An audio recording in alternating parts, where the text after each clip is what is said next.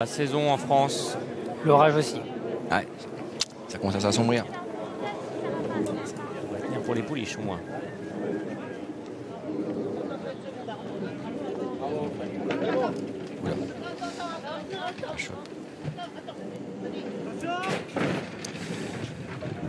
Premier classique de l'année euh, en France, Emirates Pool, d'essai des pouliches, 1600 mètres à parcourir. Katmandou, le numéro 12, est très bien parti, comme le 3 Rose Bloom qui vient à la corde et Louis Proctor. Il y a le 13 Folgoria qui se rapproche comme le numéro 8 Romantic Style ou encore Rouya, suivi par le numéro 7 Opera Mundi devant le numéro 5 Sparkling Penty. Pour le moment, See Around est à l'arrière-garde et patiente avec le 14 Content devant le 10 Chick Columbine, alors que l'on retrouve le 6 En retrait, accompagné par le numéro 9, Rock and Swing. Et c'est donc Katmandou, l'anglaise, qui mène dans cette poule d'essai des pouliches devant Romantic Style, l'une des favorites à la corde. Il y a Rose Bloom. Ruya est en troisième position devant le 7 Opera Mundi. Content patiente à la corde devant le numéro 11 Tulipa Shop avec le 2 Verspertilio qui progresse à l'extérieur. La favorite française, Louis Proctor, est à l'arrière, tout comme le numéro 5 Sparkling Plenty ou encore Rock and Swing. Katmandou a le meilleur, Romantic Style est deuxième en troisième position. Rose Bloom devant le 7 Opera Mundi, suivi encore par Rouya,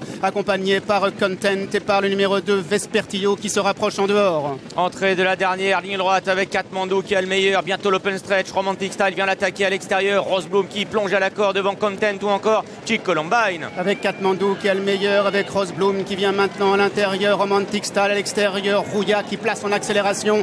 Vespertillo à son tour qui vient complètement à l'extérieur.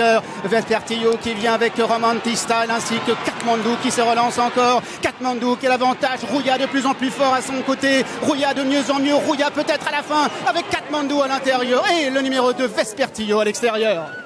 Eh bien, la victoire est française. Rouya qui s'impose pour la Kazakh de son Altesse Agacan. L'entraînement de Francis-Henri Graffard. Et la monte de Maxime Guyon qui a trouvé l'ouverture, semble-t-il, dans un trou de souris. Et Rouya est venu dominer les visiteuses, hein, puisque nous avons Katmandou le 12 qui est deuxième, le 2 Vespertilio troisième et la quatrième place pour le numéro 8 Romantic Style.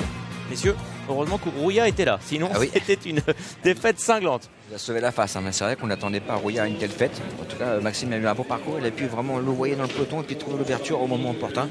Il a fallu qu'elle soit très courageuse hein, parce que ce numéro 12, euh, 4, euh, euh, Katmandou a vraiment fait la, la différence. Voilà, victoire très courageuse de ce numéro 1, Rouya, avec l'aide de Maxime Guillon qui était déchaîné sur, le- sur la jument. Une course un petit peu avec pas mal de remous dans l'épreuve avec la jument de Holiday, la Flogaria qui, qui était vraiment très allante. On a vu Opéra Mundi qui était très malheureuse à mi droite. Pas mal d'aléas dans cette épreuve quand même.